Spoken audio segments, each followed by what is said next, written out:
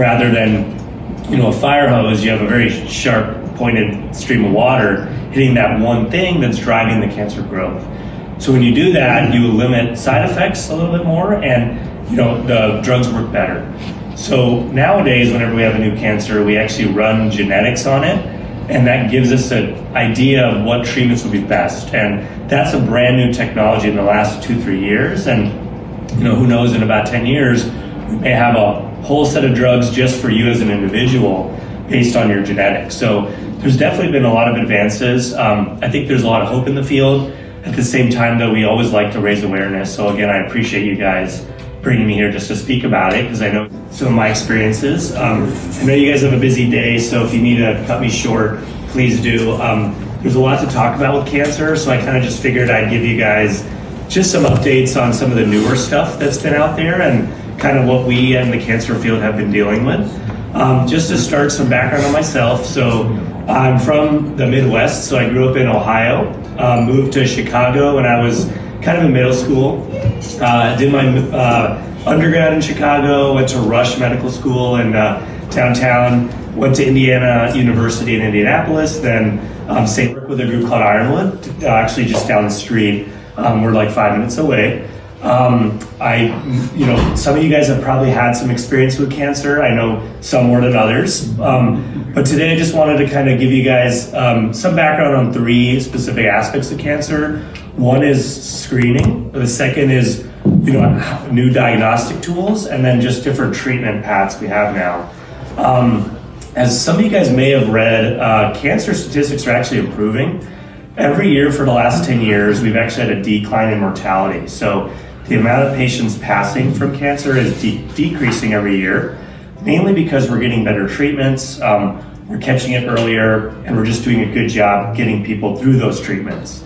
Um, specifically, I think screening has become a big part of that. You know, the earlier you catch a problem, the easier it is to handle, and I think that applies to screening. Specifically, there are two things I want to just touch on today.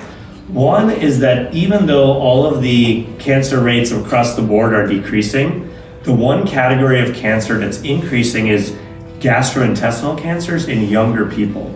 And I think that's something that we're trying to raise awareness to because um, the rates of especially colon cancer in you know people under the age of 50 is rising. Um, I think in the last you know 10, uh, three years, I've had at least 15 patients between the age of 30 and 40 coming in with advanced colon cancer. You know, in the past we focused mainly on treatment, but again, now we're trying to shift more towards prevention. Um, the other aspect I want to talk about with screening is in regards to our more, more recent issue, which was the COVID pandemic, um, and just how there was a big decline in screening. So, as you guys can all remember and imagine, so many, you know, you know, so many uh, that, but we're still kind of catching that that drift. So, just a reminder for everybody to always get the screenings, and if you're behind, this is a good time to go back. Um, I'm not trying to scare anybody either, but it's just some data that we've been looking at that's been just, you know, as we look back and we look back at the pandemic, there's to be so many different aspects of it that really affected our lives that we don't realize. And so that was one that, that I've seen personally and I wanted to share with as well. Um, so more positivity as far as cancer goes. Uh, we have many more treatments. Um, and I think that's one of the pulls that kind of drew me to the field.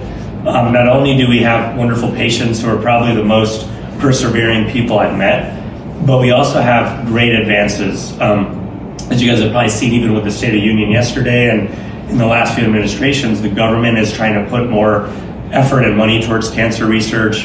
We've been having many new drugs and um, things being developed over the last few years as well we actually have better nowadays what we're realizing is that just like all of us we each have a different makeup of dna and different things in our body that make us unique.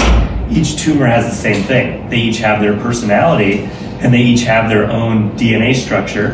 And some of them have different mutations that we can actually identify that make a drug that can target. So if you have mutation abc there's now a drug abc that directly fixes that mutation and can treat that cancer in a much gentler way.